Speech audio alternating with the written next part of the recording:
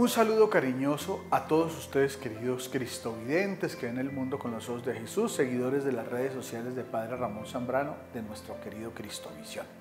Hoy es 7 de agosto, que es un día muy especial para nosotros los colombianos, porque celebramos un año más de la batalla de Boyacá, que nos dio la total independencia y la construcción de nuestro país como autónomo, una república soberana. También hoy se posiciona nuestro nuevo presidente y nuestra nueva vicepresidenta.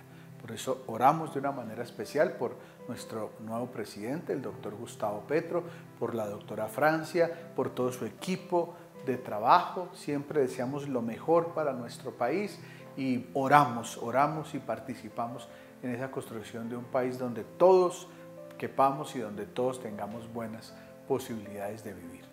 El Evangelio de hoy en este domingo, Lucas 12, 32, 48, Jesús dice estas palabras, dice a sus discípulos, no temas, pequeño rebaño, porque vuestro Padre ha tenido a bien daros el reino.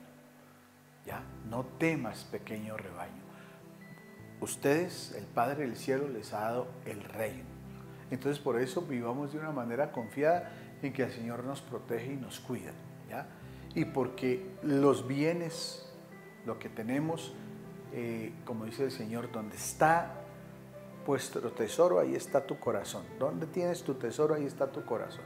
Que seamos capaces en esta nueva etapa de nuestro país de pensar en los más pobres, en los más necesitados, en distribuir equitativamente las cosas, en darle participación a todos, en construir la justicia, la rectitud, una cantidad de cosas que tanto anhelamos, ya que el reino de Dios en medio del mundo se hace visible en esas realidades de justicia, de, distribución adecuada de los bienes, de ayudar a los más pequeños y a los más sencillos.